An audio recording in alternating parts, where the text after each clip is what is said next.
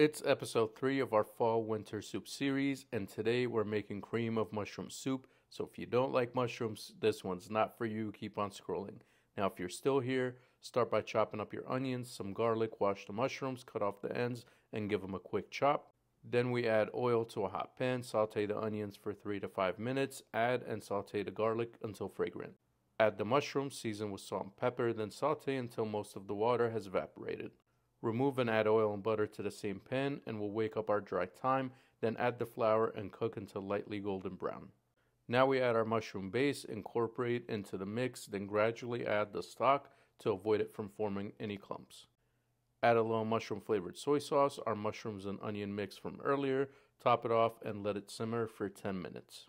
After that, we add our heavy cream, then simmer for another 10 minutes. Next, we finish off with a cornstarch slurry and take it off the heat once it thickens up to our liking. Now we serve and make it rain with some parsley, which is totally optional by the way. Now, if you're new to my page,